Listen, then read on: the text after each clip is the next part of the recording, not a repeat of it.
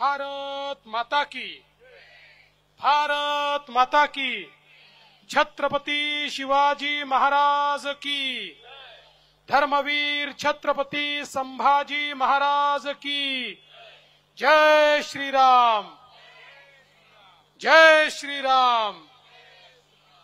हिंदवी स्वराज्याचे सरसंस्थापक छत्रपती शिवरायांना मानाचा मुजरा करतो. भारतीय राज्यघटनेचे शिल्पकार भारतरत्न डॉक्टर बाबासाहेब आंबेडकर यांना मानवंदना अर्पित करतो आणि या ठिकाणी मंचावर उपस्थित असलेले महाराष्ट्राचे उच्च शिक्षण मंत्री माननीय चंद्रकांत दादा पाटील या विभागाच्या कार्यसम्राट आमदार माधुरीताई मिसाळ माजी मंत्री हर्षवर्धन पाटीलजी लक्ष्मणराव ढोबळेजी सुनील कांबळेजी धीरज घाटेजी जगदीश मुळीकजी दीपक बाबा मिसाळ दिलीप कांबळेजी राजेश पांडेजी संजय सोनवणेजी सुभाष जगतापजी श्रीनाथ भीमालेजी राजेंद्र शिळीमकरजी किरण मिसाळजी प्रशांत दिवेकरजी जितेंद्र पोळेकर वर्षाताई साठे रुपालीताई गाळवे रघुनाथ गौडा मंचावर उपस्थित सर्व सन्माननीय पदाधिकारी कोणाचं नाव सुटलं असेल तर यादी लिहिणाऱ्याची चूक आहे माझी चूक नाही आहे. तरी सगळ्यांची क्षमा मागतो. आणि उपस्थित सर्व माझ्या माता भगिनी आणि बंधूंनो खरं म्हणजे मुरली मोहोळ या ठिकाणी पोचतायत.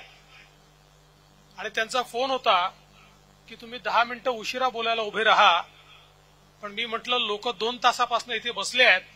त्यामुळे तुम्ही पोचल्यानंतर माझं भाषण संपल्यावरही तुम्ही बोला. लोक तुमचं म्हणणं ऐकतील. आणि म्हणून मी या ठिकाणी बोलायला उभा राहिलो. आपल्या सगळ्यांना कल्पना आहे ही निवडणूक लोकसभेची निवडणूक आहे. ही ग्रामपंचायतची जिल्हा परिषदेची महानगरपालिकेची विधानसभेची निवडणूक नाहीये. लोकसभेची निवडणूक म्हणजे या देशाचा नेता निवडण्याची निवडणूक आहे. पुढचे पाच वर्ष भारत देश कोणाच्या हातात द्यायचा? कोण आपला देश सुरक्षित ठेवेल? कोण आपला देश विकासाकडे नेईल? कोण जनसामान्यांच्या आशा आकांक्षा आणि अपेक्षा पूर्ण करेल? याचा फैसला करण्याची निवडणूक आहे. आणि म्हणून आपण ज्यावेळी आपला खासदार निवडून देतो त्यावेळी त्या खासदाराच्या माध्यमातून देशाचा नेता देखील आपण निवडून देत असतो. बंधू भगिनींनो मागच्या काळामध्ये गिरीश भाऊ बापट यांना आपण निवडून दिलं होतं. अतिशय उत्तम काम गिरीश भाऊंनी केलं पण दुर्दैवाने त्यांचा त्या ठिकाणी अकाली निधन झालं. आणि आज एक तरुण तडफदार असलेल्या मुरली अण्णा मोहोळ माजी महापौर यांना आपण या ठिकाणी उमेदवारी दिली आहे आणि मुरली अण्णांना दिलेलं प्रत्येक मत हे थेट मोदीजींना दिलेलं मत आहे. त्यामुळे मुरली अण्णांच्या माध्यमातनं आपण देशाचा नेता निवडणार आहोत. बघा बंधू भगिनींनो आज काय अवस्था आहे? आज संपूर्ण भारत हा दोन गटांमध्ये विभागलाय जसं महाभारताच्या युद्धामध्ये एकीकडे गौरव कौरव होते एकीकडे पांडव होते आणि संपूर्ण भारतामध्ये काही राजे पांडवांसोबत काही राजे कौरवांसोबत होते तशीच अवस्था आज आपल्याला पाहायला मिळते. एकीकडे विश्व गौरव असलेले विकास पुरुष असलेले आपल्या सर्वांचे लाडके नेते माननीय नरेंद्र मोदीजी आहेत. आणि मोदीजींच्या समावेत एकनाथरावजी शिंदे यांची शिवसेना अजितदादा पवार यांची राष्ट्रवादी आपले राज ठाकरे यांची मनसे आठवले साहेबांची रिपाई पिरिपा जनसुराज्य वेगवेगळे आपले रासप वेगवेगळे आपले पक्ष आहेत आणि त्याची एक मोठी आघाडी आपण तयार केलेली आहे. आपले नेते मोदीजी आहेत. दुसरीकडे काय अवस्था आहे? दुसरीकडे राहुल गांधी आहेत. आणि त्यांच्यासोबत चोवीस पक्षांची खिचडी आहे. पण राहुल गांधी जरी नेते असले तरी त्या खिचडीमध्ये कोणीच कोणाला नेता मानायला तयार नाही आहे आमचा त्यांना सवाल आहे आमचं सरकार येणार सगळ्यांनी मिळून ठरवलंय मोदीजी प्रधानमंत्री होणार. तुमचं चुकून जर निवडून आलं सांगा तुमचे प्रधानमंत्री कोण? त्यांना उत्तर देता येत नाही. मग ज्यावेळेस पत्रकारांनी विचारलं तर सकाळी नऊ वाजता एक भोंगा वाजतो त्यांचा. त्या भोंग्यानी सांगितलं की आमचं जर सरकार आलं तर पाच वर्षात आम्ही पाच मुख्यमंत्री बनवू. पाच प्रधानमंत्री बनवू. पाच पंतप्रधान बनवू. आता मी म्हटलं पाच पंतप्रधान बनवायचे तर पहिला कोण बनेल? मग माझ्या लक्षात आलं आपण लहानपणी संगीत खुर्चीचा खेळ खेळायचो तसा संगीत खुर्चीचा खेळ होईल. एक खुर्चीमध्ये ठेवली जाईल आणि मग हे सगळे नेते त्याच्या भोवती रिंगण करतील.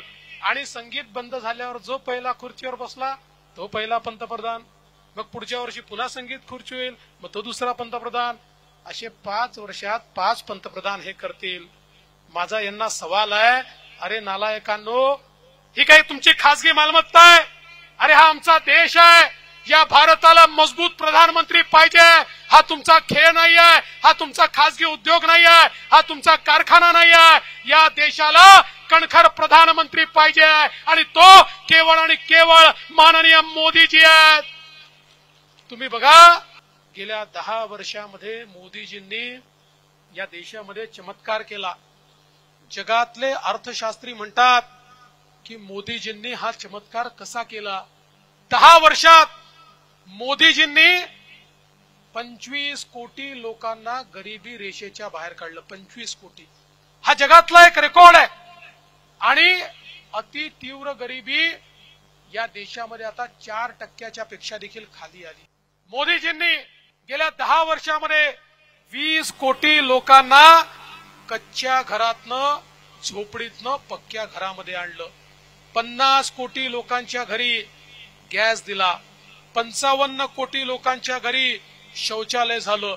साठ कोटी लोकांच्या घरी आमच्या माता भगिनींना हंडा घेऊन नळावर जावं लागायचं विहिरीवर जावं लागायचं नदीवर जावं लागायचं. त्या साठ कोटी लोकांच्या घरी मोदीजींनी पिण्याच्या पाण्याचा नळ पोचवला आणि शुद्ध जल त्यांच्यापर्यंत पोचलं. ऐंशी कोटी लोक असे आहेत की ज्यांना मोदीजींनी दोन हजार वीस सालापासनं दोन वेळेचं राशन हे त्या ठिकाणी मोफत दिलं.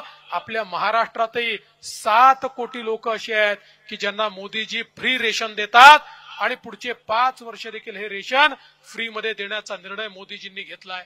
जवळजवळ चौसष्ट पासष्ट कोटी लोक असे आहेत की ज्यांना मोदीजींनी दहा लाखापर्यंतच मुद्राचं लोन दिलं.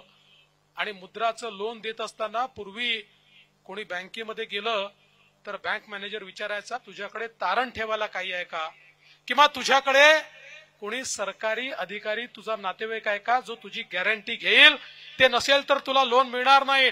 मोदीजींनी सांगितलं यांची गॅरंटी मी घेतो चौसष्ट कोटी लोकांना दहा लाखापर्यंतचं लोन विना तारण आणि बिना गॅरेंटर मोदीजींनी दिलं. आणि सगळ्यात महत्वाचं काय? टाळ्या याच्यावर वाजवा. याच्यामध्ये साठ टक्के महिला आहेत की ज्यांना हे मुद्राचं लोन मिळालेलं आहे.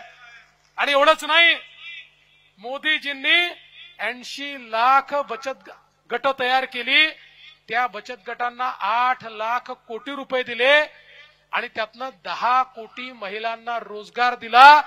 त्यातल्या तीन कोटी महिलांना आता लखपती दिदी मोदीजी बनवतात आणि पुढच्या काळात या सगळ्या दहा कोटी महिला लखपती होणार आहेत. हे मोदीजींनी आणलेलं परिवर्तन आहे. मोदीजी म्हणतात एक पुरुष आपल्या पायावर उभा राहतो तर केवळ पुरुष पायावर उभा राहतो पण महिला पायावर उभी राहते तर संपूर्ण कुटुंब पायावर उभं राहतं. आणि म्हणून महिलांना अधिकारिता देण्याचं काम मोदीजी करतायत. आज आमच्या मंचावर वीस टक्केच महिला दिसत आहेत पण दोन हजार सव्वीस नंतर पन्नास टक्के महिला ठेवाव्या लागणार आहेत कारण मोदीजींनी ठरवलंय दोन हजार सव्वीस नंतर तेहतीस टक्के आमदारही महिला आणि तेहतीस टक्के खासदारही महिला. आमचा पत्ता कट होणार आहे आणि महिलांचं राज्य हे मोदीजी या ठिकाणी आणणार आहे. आणि म्हणून बंधू भगिनींनो समाजातल्या प्रत्येक घटकाचा विचार मोदीजींनी केला. आमचे बारा बलुतेदार पारंपरिक व्यावसायिक यांचा विचार करून विश्वकर्मासारखी योजना या ठिकाणी आणली. सुतार असतील कुंभार असतील लोहार असतील केश कर्तन करणारे आमचे भाऊ असतील या सगळ्यांकरता विश्वकर्मासारखी योजना आणली आणि या योजनेच्या माध्यमातून चौदा हजार कोटी रुपये मोदीजींनी दिले आणि सांगितलं की या व्यवसायाला आधुनिकता आणण्याकरता त्यांना नवीन प्रशिक्षण देण्याकरता आणि त्यांच्या पुढच्या पिढीने हा व्यवसाय लोकल ठेवायचा नाही तो ग्लोबल कसा करता येईल याकरता त्यांना सगळ्या प्रकारची मदत आज मोदीजी करतायत. जनसामान्यांच्या जीवनामध्ये परिवर्तन करण्याचं काम आज मोदीजींच्या माध्यमातून होत आहे आमचे जे या ठिकाणी ज्येष्ठ नागरिक आहे आज एकीकडे पंचावन्न कोटी लोकांना पाच लाखापर्यंतचा इलाज तर मोफत दिलाच पण सत्तर वर्षाच्या वरचे जे ज्येष्ठ नागरिक आहेत त्यांना यापुढे ज्या काही रेग्युलर गोळ्या लागतात त्या मोफत इंजेक्शन लागलं इंजेक्शन मोफत त्यांना हॉस्पिटलमध्ये ऍडमिट व्हावं लागलं ते मोफत त्यांना शस्त्रक्रिया करायची गरज पडली ती मोफत सगळ्या गोष्टी त्यांना मोफत देण्याचं काम हे मोदीजींच्या माध्यमातून होणार आहे. आमच्या दिव्यांगांकरता मोदीजींनी जर्मनी आणि फ्रान्समध्ये ज्या प्रकारचे कृत्रिम पाय बनायचे त्याची फॅक्टरी आपल्या भारतामध्ये लावली. आणि आज जे कृत्रिम पाय आपण दिव्यांगांना लावतोय कालपर्यंत जे चालू शकत नव्हते आज ते सगळे त्या ठिकाणी मोटरसायकलची किक मारतायत आणि मोटरसायकल चालवतायत. हे परिवर्तन मोदीजींनी या ठिकाणी करून दाखवलं. आणि आता तर मोदीजींनी प्रधानमंत्री सूर्यघर योजना आणली आहे. या योजनेच्या अंतर्गत एक कोटी लोकांनी ऑलरेडी अप्लाय केलाय आणि हळूहळू सगळ्यांना ती योजना लागू होणार आहे. यामध्ये मोदीजी केंद्र सरकारच्या पैशातून तुमच्या घरावर सोलर लावणार आहेत आणि ती लागल्यानंतर तीनशे युनिट पर्यंत वीज तुम्हाला फ्री मिळणार आहे मोफत मिळणार आहे आणि त्याच्यावरची वीज तुम्हाला सरकारला विकता येणार आहे. म्हणजे आपली वीज फ्री आणि प्लस सरकारला वीज विकून तुम्हाला पैसे देखील कमवता येतील. अशा प्रकारची योजना आज मोदीजींनी आणली आहे. या देशातल्या गरीबाला मध्यमवर्गीयाला आधार देण्याचं काम हे मोदीजींच्या माध्यमातून या ठिकाणी चाललंय. बंधू भगिनींनो आपल्या देशामध्ये पहिल्यांदा मोदीजी एक असे प्रधानमंत्री झाले की ज्यांनी शहरांचा देखील विचार केला. आपल्याकडे शहरांचा विचार कोणीच करायचं नाही. ही शहरं आवाढव्य वाढली. शहरांमध्ये शिक्षण आरोग्य रोजगार मनोरंजन याच्याकरता लोक येत गेले. आल्यानंतर जागा नव्हत्या. तर त्यांना झोपडपट्टीमध्ये राहावं लागलं. झोपड्या तयार झाल्या. सांडपाण्याची व्यवस्था नाही पिण्याच्या पाण्याची व्यवस्था नाही घनकचऱ्याची व्यवस्था नाही. आवाढव्य वाढलेली शहरं अशा प्रकारची बकाल शहरं तयार झाली. दोन हजार चौदा साली मोदीजींनी शहरांना अमृत सारखी योजना लागू केली. शहरांना स्मार्ट सिटी सारखी योजना लागू केली. हजारो कोटी रुपये या ठिकाणी दिले.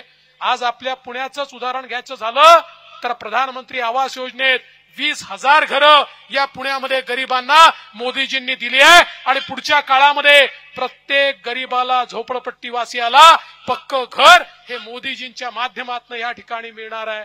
आणि एवढंच नाही तर आज आपण पहा पिण्याच्या पाण्याकरता या आपल्या पुण्याला ट्वेंटी फोर बाय सेव्हन सारखी योजना दिली. पुढच्या वर्ष दीड वर्षात ही योजना पूर्ण झाल्यानंतर पुण्याच्या कानाकोपऱ्यामध्ये सगळीकडे चोवीस तास पिण्याचं पाणी दुसऱ्या तिसऱ्या मजल्यापर्यंत पिण्याचं पाणी हे लोकांना त्या ठिकाणी उपलब्ध होणार आहे. एवढंच नाही तर घनकचऱ्याच्या व्यवस्थापनाकरता आपल्याला मोदीजींनी मदत केली. आज पुण्यामध्ये कचऱ्यापासून वीज निर्मिती करण्याकडे आपण वळलो आहे. कचऱ्याचं त्या ठिकाणी जो ढिगारा होता तो आपण संपवतो आणि घनकचऱ्यातनं जे नदी नाल्यांचं प्रदूषण आहे ते आपण संपवतो कारण मोदीजी आपल्या पाठीशी आहेत. आज आपण पाहू शकतो मुळा मुठा नदीच्या शुद्धीकरणाची योजना एकोणीसशे कोटी रुपये दिले. आणि त्या माध्यमातनं संपूर्ण पुण्यातलं सांडपाणी जे आमच्या नद्यांमध्ये आमचं सगळं संडासातलं पाणी त्या ठिकाणी जात होतं ते सगळं पाणी शुद्ध करून आमच्या नद्याही शुद्ध होणार आहे आणि त्या ठिकाणी चांगलं पाणी देखील आम्हाला उपलब्ध होणार आहे. त्यामुळे चांगलं शहर तयार करण्याचं काम मोदीजींनी केलं. आज आमच्या पुण्यामध्ये मेट्रो आली. मोदीजींनी ही मेट्रो केवळ इथपर्यंत नाही तर ती आता विस्तारित होते. मोठ्या प्रमाणात त्या ठिकाणी मेट्रोचं जाळं पसरत आहे. आणि मी माधुरीताईंचं खरोखर अभिनंदन करेन.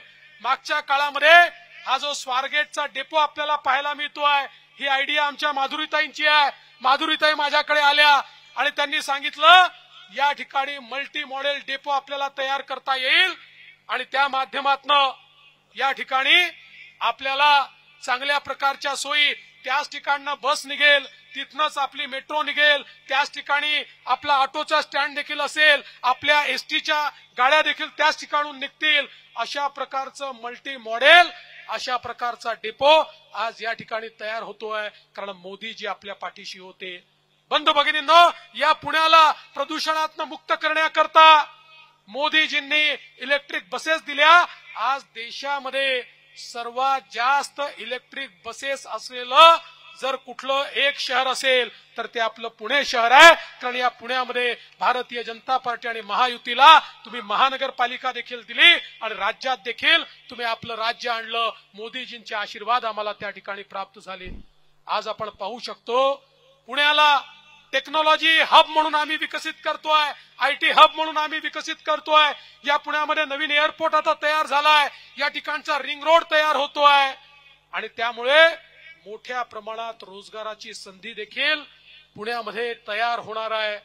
देशातलं एक सर्वोत्तम शहर म्हणून पुण्याला विकसित करण्याचा आमचा प्रयत्न आहे. बंधू भगिनींनो मग अशी माधुरी ते सांगत होतं ही गोष्ट खरी आहे. कोविडच्या काळामध्ये मोदीजी नसते तर काय झालं असतं? पण कोविडच्या काळानंतर जगाच्या पाठीवर मंदी आली. जगातले सगळे विकसित देश आज मंदीमध्ये आहे आणि विकसित देशांमध्ये महागाईचा पारा पंधरा टक्क्याच्या वर गेलाय. एकमेव भारत देश आहे की ज्या देशामध्ये मोदीजींनी मंदी येऊ दिली नाही आणि महागाई देखील सहा टक्क्यावर त्या ठिकाणी कंट्रोलमध्ये ठेवली. आणि एवढंच नाही तर जगातल्या सगळ्या देशांमध्ये कोरोना नंतर उद्योग बंद झाले. पण मोदीजींनी दोन लाख कोटी रुपयाचं पॅकेज दिलं आणि त्यामुळे आज मोठ्या प्रमाणात या ठिकाणी उद्योगांना जिवंत ठेवलं. आणि बंधू भगिनींनो आता स्थिती अशी आहे जगाच्या पाठीवर तीस वर्ष चीननी फॅक्टरी ऑफ वर्ल्ड म्हणून काम केलं.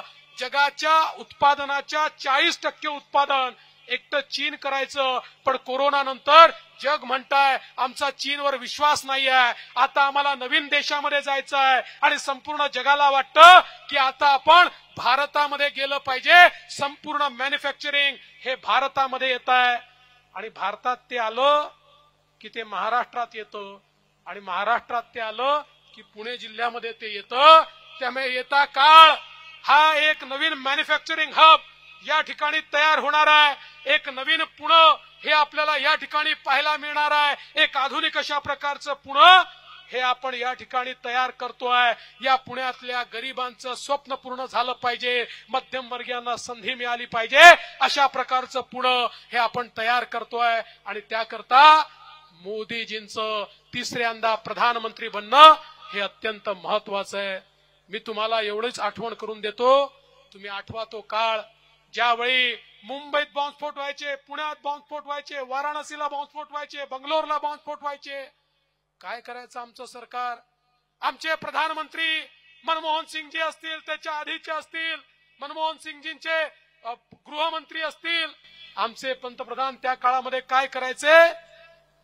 बॉम्बस्फोट झाला की पाकिस्तानचा निषेध करायचे. पुन्हा बॉम्बस्फोट व्हायचा मग तीव्र निषेध करायचे. मग पुन्हा बॉम्बस्फोट व्हायचा मग अति तीव्र निषेध करायचे. मग पुन्हा बॉम्बस्फोट व्हायचा. तर कागदपत्र घेऊन अमेरिकेत जायचे आणि म्हणायचे बघा तो पाकिस्तान आमच्याकडे बॉम्बस्फोट करतो हे त्याचे पुरावे आहेत. तुम्ही त्याला समजवा. अमेरिका समजवायचे नाही आणि तोपर्यंत दुसरा बॉम्बस्फोट व्हायचा. एकशे चाळीस कोटीचा देश इतका लाचार आम्ही कधी बघितला नाही. मोदीजी प्रधानमंत्री झाले. ते झाल्यानंतर या देशात बॉम्बस्फोट घडवण्याचा प्रयत्न झाला. दोन हजार एकोणीस साली ज्यावेळी बॉम्बस्फोट घडवला आमच्या निष्पाप लोकांना आणि आमच्या सैनिकांना शहीद केलं त्यांना माहिती नव्हतं. या ठिकाणी आता मोदींचं राज्य आहे. मोदीजींनी थेट पाकिस्तानमध्ये घुसून त्या ठिकाणी सर्जिकल स्ट्राईक केला आणि आतंकवाद्यांना मारून टाकलं. बंधू भगिनींनो तुम्ही बघा दोन हजार एकोणीस नंतर पाकिस्तानच्या बापाची हिंमत झाली नाही भारतामध्ये बॉम्बस्फोट करण्याची. एक मजबूत भारत मोदीजींनी तयार केलाय. आता तर या भारताने चंद्रयान देखील उतरवलाय. या भारताने सूर्याकरता आदित्य एलवनी तयार केलाय. आणि या भारताने एक असं मिसाईल देखील तयार केला अग्नि मिसाईल. सात हजार किलोमीटर दूर कुठेही शत्रू असला तरी त्याला थेट जाऊन नेस्तनाभूत करू शकतं. अशा प्रकारचं मिसाईलही भारताने तयार केलं आहे त्यामुळे आता चीन देखील वाकड्या नजरेनं आपल्या भारताकडे पाहू शकत नाही. बंधू भगिनींनो आज या ठिकाणी एक मजबूत भारत तयार झालाय. आपण पाहू शकतो या ठिकाणी सांस्कृतिक पुनरुत्थान चालू आहे. पाचशे वर्षाची गुलामगिरीची निशाणी मिटवत मोदीजींनी त्याच ठिकाणी प्रभू श्रीरामांचं मंदिर बांधलं. आणि काँग्रेसचे लोक इतके नालायक आणि नतरष्ट आहेत की या लोकांनी न्यायालयामध्ये एफिडेव्हिट दिलं होतं की राम खरंच पैदा झाला का आम्हाला माहिती नाही तो अयोध्येत पैदा झाला का आम्हाला माहिती नाही. त्या नालायकांच्या नाकावर टिचून ज्या ठिकाणी प्रभू श्रीरामांचा जन्म झाला होता त्याच ठिकाणी प्रभू श्रीरामांचं मंदिर बांधलं. पण हे इतके नालायक लोक आहेत की यांना निमंत्रण दिलं तर त्या ठिकाणी प्राण प्रतिष्ठेला देखील गेले नाहीत. यांना राम नको आहे यांना हराम पाहिजे आहे अशा प्रकारचे हे लोक आहेत. आणि म्हणून मी तुम्हाला विनंती करण्याकरता आलो आहे. हे लोक रोज खोटं बोलतात. खोटं बोल पण रेटून बोल. अशा प्रकारची यांची स्थिती आहे. आता ज्यावेळेस निवडून येता येत नाही विकासावर बोलता येत नाही अशी परिस्थिती निर्माण झाली तर आता हे सांगतात मोदीजी निवडून आले तर ते संविधान बदलून टाकतील. बंधू भगिनींनो अरे नरेंद्र मोदी त्या व्यक्तीचं नाव आहे ज्यांनी सांगितलं मला कुठल्याही धर्मग्रंथापेक्षा संविधान महत्वाचं आहे. कारण भारताचं संविधान होतं म्हणून एक चहावाला आज देशाचा प्रधानमंत्री बनलाय. जोपर्यंत चंद्र आणि सूर्य आहे तोपर्यंत बाबासाहेबांचं संविधान कोणीच बदलू शकत नाही. हा इतिहास देखील आपण सगळ्यांनी लक्षात घेतला पाहिजे. आणि म्हणून या खोट्या लोकांना या लोकांना ज्यांनी केवळ घोटाळे केले घपले केले ज्यांना केवळ सत्ता आपल्या परिवाराकरता पाहिजे अशा लोकांना घरी बसवा आणि येत्या तेरा तारखेला ज्यावेळी तुम्ही कमळाची बटन दाबाल त्यावेळी तुमचं मत हे मुरली अण्णांना तर मिळेलच पण तुमचा आशीर्वाद थेट मोदीजींना मिळेल. आणि तुमच्याच मताने मोदीजी तिसऱ्यांदा देशाचे प्रधानमंत्री होतील. आणि म्हणून तुमचा आशीर्वाद द्या. एवढीच विनंती करतो. आणि माझं बोलणं संपवतो. जय हिंद जय महाराष्ट्र. आणि मुरली अण्णा मोळ यांना विनंती करतो की त्यांनी आपला आशीर्वाद मागावा.